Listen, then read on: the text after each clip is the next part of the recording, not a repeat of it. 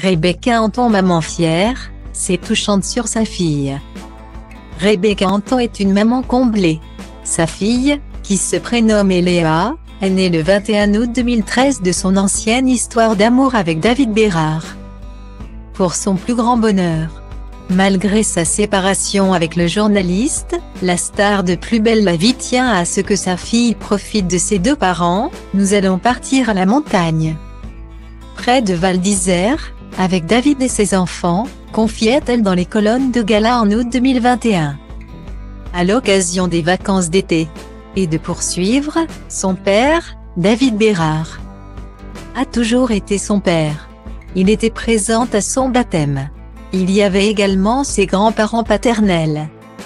On peut dire que nous sommes quand même ce que l'on appelle une famille. Cet été, Eléa a célébré son 9e anniversaire. Et Rebecca Anton, qui vient d'officialiser sa relation amoureuse avec Vincent Azé, est très fière d'elle. Rebecca Anton s'est confiée dans une interview accordée à Gala ce jeudi 10 novembre 2022. À l'aube de la cinquantaine, la comédienne semble plutôt sereine. Je n'ai pas d'inquiétude particulière avec les 50 ans. Glisse-t-elle, alors qu'elle fêtera son anniversaire le 1er mai prochain. Chaque année de plus est une année gagnée ajoute-t-elle.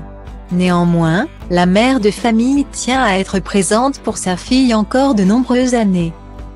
J'espère juste vivre le plus longtemps possible pour voir ma fille grandir car je l'ai eu tard, à 40 ans, explique Rebecca Anton. Après avoir grandi à Marseille, la petite fille a posé ses petits cartons à Paris. Avec sa maman. Je suis très admiratif parce qu'elle se débrouille super bien. Elle est en centimètre 1, dans une nouvelle école et a été élue déléguée de classe, se réjouit Rebecca Anton.